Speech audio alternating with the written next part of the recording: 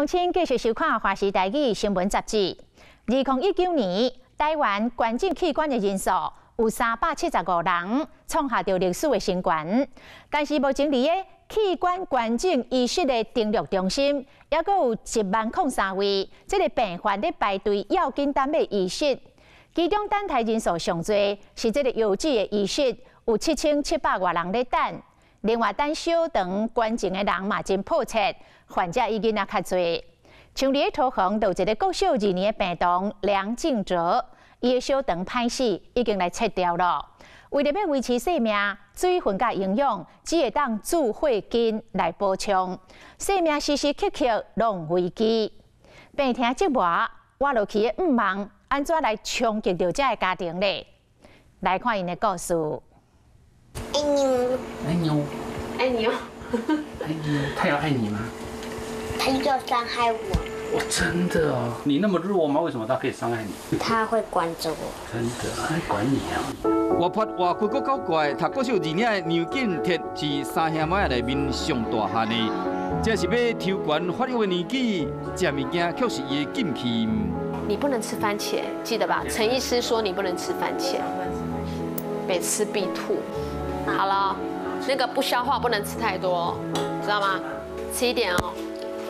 他现在就是一天总量管制三百克这样子。一天敢来使食三百克的食物，差不多是五粒鸡卵的分量。只要牛颈铁挡袂牢，鸡只规喙啊，因老母就会开始紧张。看起来敢若真结实的小小的身躯，其实正忍受着病痛。伊是低肠啊症的患者，真哩等小肠的医生。他去年的时候啊，就因为肚子痛，就当天就是败血性休克，然后就是医生剖腹探查，才发现他的小肠坏死，就只能切除。所以他目前造成身体状况就是无小肠可以吸收营养，吃太油会吐，吃太多会拉太多。好，你先等我哈，我先泡泡药。这是它的营养针，那因为它里面的还需要再把它的这个综合维他命这两个是泡在一起的。OK，好，这是它的微量元素，这等于是它的营养来源食物，是每个动作都要消毒的，因为如果没有消毒的话，就很怕它会感染。刚刚问的东西是不是很不开心？是，那是什么原因？不知道。因为要上药上针了，是不是？对。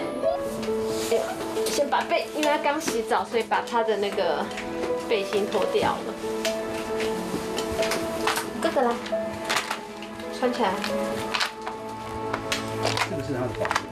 呃，保护的，对，因为会遇，因为小朋友，因为他这个只要拉出来就就就非常非常危险，就要回赶快回就回医院。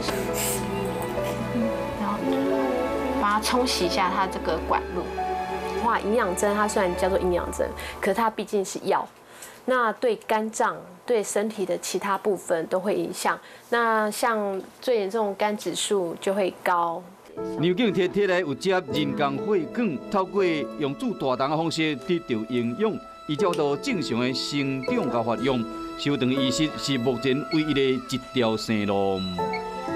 我跟他说哦，我们在排队了，那移植我们也登记上，那我们在排队要有耐心。那我也跟他说哦，移植不是说我排了就会有器官，那是因为代表可能是另一个人的死亡，对，所以说也只能说看缘分，爱不能说去祈求什么，就是别人怎么样，对，我们就只能说总是有生有死，那就希望有这个缘分。哦，你帮我截一段好不好，哥哥？好来，截段有折的哦，哈。嗯，他其实他就可能跟他讲过之后，他就蛮懂事。比如说像我刚刚上阵的时候，他就会知道说，哦，我一个人忙不过来，然后他就会帮我撕胶带啊。他其实自己也蛮懂事，就是蛮蛮勇敢坚强的这样子。你有没有看他哭过？他不会因为这件事情就是难过或是什么这样。有没有什么话跟他讲？嗯，就一起加油这样。你干嘛？两大包的大肠的爱注入这个小小的身躯内，前后，爱十四点钟，每一部分拢是即活。这仪器甲药水爱对牛颈天可能半冬，几啊十年，甚至一世人。好了，你的愿望是做什么？特勤队，为什么？嗯，因为特勤队很帅。不能吃很多大吃大喝啊，会不会很难过？一点点。那你去医院几次？妈妈，两百次，那你去医院做手术的时候会不会害怕？有一点点。彩虹这一天，阮对女警摕回诊，因老母大包细包，拢是爱回收的射针甲油针。所以现在没有针头了吼，没有针头，对啊，那我可以喝水吗？可以啊，我一直都可以啊，就不要喝那么多而已，我一直打。那我可以吃巧克力吗？巧克力太油不行。呃，我们过去做了二十八例，二十七个病人，和，二十八次的小肠移植。那这二十七个病人，二十个是大人，七个是小孩。那为什么等的小孩这么多，做的这么少？其实有一个原因是也等不到器官。过去其实，在没有这个手术之前，这些病人其实是很没有希望的。然后他慢慢的就会因为打静脉营养，不是败血症走掉的。就是黄疸，然后造成肝衰竭而离开这样。甲牛警提共款，真需要等待小肠医师的患者，伫阿东病院有十二个个案，因为等未到适合的器官，患者只好痛苦经落去。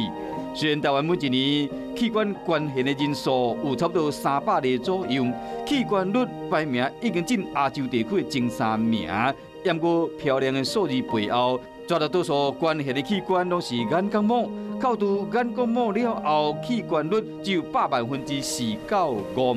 但有这人上济，二零一九年有七千七百五十个人，捐献的人数干那两百四十六个人，需要肝脏的人有一千零八十三例，捐肝的人干那一百十八人，但心中有一百九十五个人，捐献的人干那八十六个人，每一个数字的背后，拢伫等待一个有缘人，给因重生的希望。台湾器官捐献这条路，依然要真个困境爱突破。但台湾以这样子算起来，每百万人可能十几十几位，还是远低于欧美。欧美大概都是我们的在三倍左右这样的一个一个捐赠的量。那再加上呃有些国家，国外有些国家它是用所谓推定同意制，就是你如果没有不同意，就是同意这样。那我们是用选择同意制，就是我会问你，你有同意，我们才会去做这件事。所以。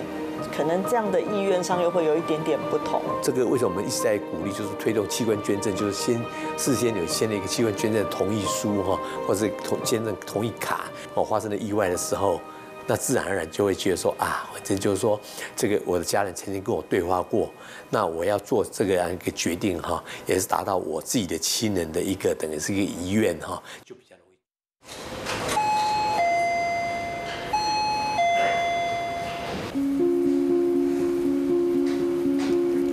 躺得很累啊。伊是病院行政人员张金英，因为未完成的误会案，二七岁时一日手食三粒羊桃，和油脂挡袂掉。头礼拜有三更暗时，就要到西油脂中心去报道，一日倒伫面床顶，前后都要四点钟。就是每天都上吐下泻，然后吃也吃不下，整个脸色泛白，然后整个体力很差，然后就每天就一直在床上睡觉睡觉。一直到最后才去挂急诊，后来才知道说，哦，原来是肾脏已经不好了。哦，因为他就是一直接着打，接着打，那些其实你针，他的针很粗，就是整个伤口就会很多。长长的气甲尖空，唔那手骨尔，连筋甲头嘛是，这是每一个血油脂患者爱承受的痛苦。因嘛无多出工，嘛唔敢想要做长途的旅行。虽然有种种无方便，也无张筋液，并无因此失志。放这个还你啊！张金义捌重生过一摆，当年医师油脂较无八个月就等着适合的油脂通医生，比恢复正常人的生活还要更像一个正常人。因为我们本来就不能小便，但当我接受到器官移植的时候，我第一次小便的时候，那个时候是很感动，就是你站在马桶前面是会落泪。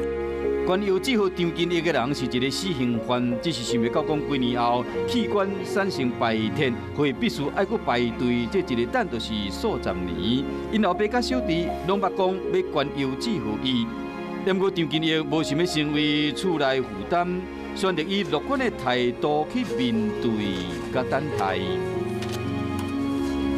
家人只有剩下一个弟弟，但是我我跟我弟弟感情非常好，非常非常好。因为我有接受过第一次的那个肾脏移植，那我觉得当时年轻的时候浪费太多，因为因为重生之后浪费太多时间在过正常人的生活，就是觉得哎自己已经换到肾脏了，然后我只是想说如果有再再一次换肾的机会，然后我讲说可以帮助更多的人，不要把时间一直浪费在自己的事情上面。